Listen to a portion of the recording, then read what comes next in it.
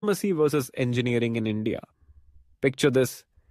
You've got your friends debating which path to take.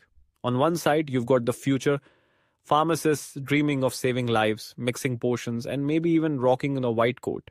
Sounds glamorous, right? But wait. On the other side, we have engineers, the tech wizards who build bridges, code apps, and make our lives easier. Now, let's be real pharmacy is all about those late night study sessions and mastering those complex drug interactions. Meanwhile, engineers are buried under piles of calculations and coding nightmares. But here's the kicker both paths have their perks.